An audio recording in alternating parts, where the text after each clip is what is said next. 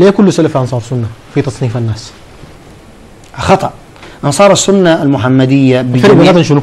طيب أنصار السنة المحمدية بجميع طوائفها جناح أبو زيد وجناح آه، المركز العام وجمعية الكتاب والسنة وصافي وغيرها دي كلها الآن كتنظيمات أنا يعني ما عن الأفراد التحت تحت الماء الممكن نعذرهم بجهلهم. ديل باروا سياسة. خلاص؟ وسكوا مجالس مقاعد في البرلمان. خلاص؟ وبقى يكرموا الصوفية. هادوا عن طريقهم الأول. مش شوف مثلا سلفيين؟ شوف مثلا دي وثيقة قوي- قوية جدا.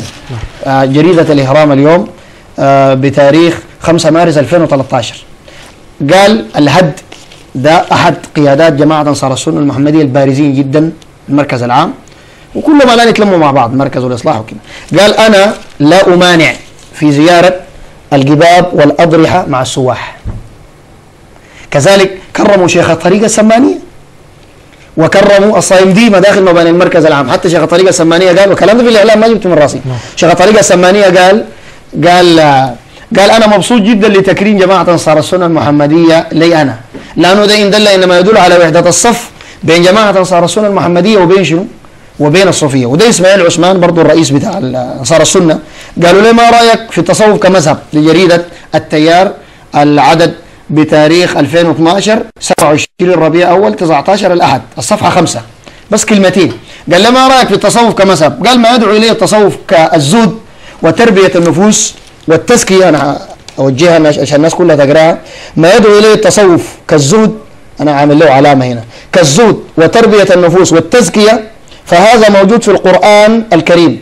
التصوف هو حزمة من الأشياء والتدابير موجودة في الكتاب والسنة ولا يحتاج إلى تسمية بالتصوف. قام المحرر سأله قال في الوقت الراهن ظهرت جماعات صوفية ودينية وأحزاب لم تكن موجودة في القرآن. وقال لهم ال- ال- المحرر ده صحيح لكن الآن هي موجودة ولها برامج وأهداف. نشوف كلام رئيس أنصار السنة. قال الاسم له دلالة الفعل المحمود لا يحتاج إلى اسم آخر. الزهد والتزكية موجودان والتصوف في الدين موجود في الدين يعني. لا حاجة لمسميات جديدة والتصوف في الدين ما موجود. لأنه ربنا قال هو سماكم المسلمين. ليه ديل صوفية وديل أنصار سنة وديل أنصار مهدي وديل أخوان مسلمين أنا بكون معك صريح جدا. ليه؟ ربنا قال هو سماكم المسلمين. فده كله باطل. والتصوف الآن يدعو إلى عبادة المشايخ. زول يقول أنا أنا البنيت السماء. أنا عرشها. والكرسي أنا. أنا للسماء بانيها. ده لو ما حرك في مسلم دواخله دقيقة بس. ومشاعره إيمانه يبقى ده ما مسلم. قال أنا عرشها والكرسي أنا. أنا للسماء بانيها. لولا الحياء من ربي نار الجحيم أطفيها زول يقول مريدي تمس تمسك بي وكن بي واثقة. لأحميك في الدنيا ويوم القيامة. ده محمد عثمان المرغني في كتاب فيوض البحور المتلاطمة. أهو ده الكتاب. وده بيبيعوه في المركز العام حقهم في بحر حلة خوجلي.